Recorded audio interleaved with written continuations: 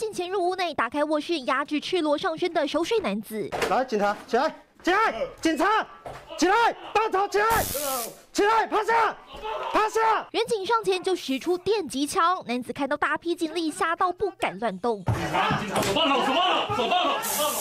警察，手放好，手放好呀！房间还有两名睡觉男子，全都是贩毒集团。警方在洗衣机内找到近两千包毒咖啡，含上百包 K 他命，甚至还有服用后就会严重脱序的丧尸烟弹。不要把谁叫谁送，他贩毒的脉络遍布整个大高雄的地区。同样是贩毒，竟有香港黑帮勾结台湾毒枭，从瑞士寄出一个可疑的沐浴盐包裹，里头竟然藏着十公斤 K 他命。来，先起来，慢慢起来。一对香港情侣今年六月来台假观光。实际是领取毒品包裹，再从台北南下台南。警方一路监视，最后将八人逮捕送办。另外，在高雄刑事局追查发现，诈骗集团把男子居某海鲜超市当收款据点，在洗钱，经手金额竟然高达六千万。被害人逾百人，全案一涉嫌诈欺、洗钱防治法及组织犯罪条例等罪嫌移送侦办。警方现场查扣多辆豪车，将蔡姓男子等三十一人移送侦办，避免更多人受害。记者潘建仁、曹文宁台北、高雄报道。